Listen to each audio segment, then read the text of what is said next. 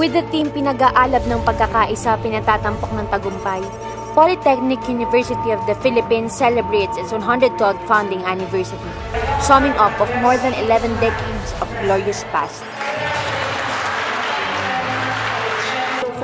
Convocation was held with the guest speaker Ms. Loy Herrera, the president of PCC and PUP Alumni Association USA. In her speech, Ms. Herrera said, and I quote, This school opened the doors for me to start my successful life. Kailangan lang magtyaga kayong mag-aral. It's okay to dream big and then uh, be inspired that anything is possible. In the same event, she formally announced the groundbreaking ceremony of the PUP Tahanan ng Atleta.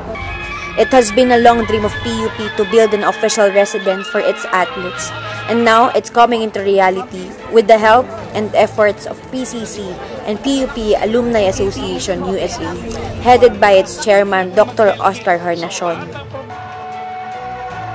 In the afternoon, a cultural, faculty, and administrative fellowship takes place at the PUP Gymnasium. Raffle draws and bingo games were held. The USA alumni also distributed gifts to the attendees.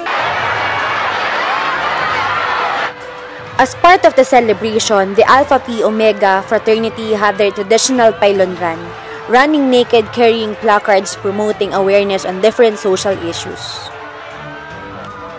And for the closing activity, the new Mr. and Miss PUP 2016 was crowned. Ms. Laika Ira Fernandez of College of Political Science and Public Administration won Miss PUP 2016, while Mr. Aaron Carlo Cortez of Institute of Technology got the title of Mr. PUP 2016.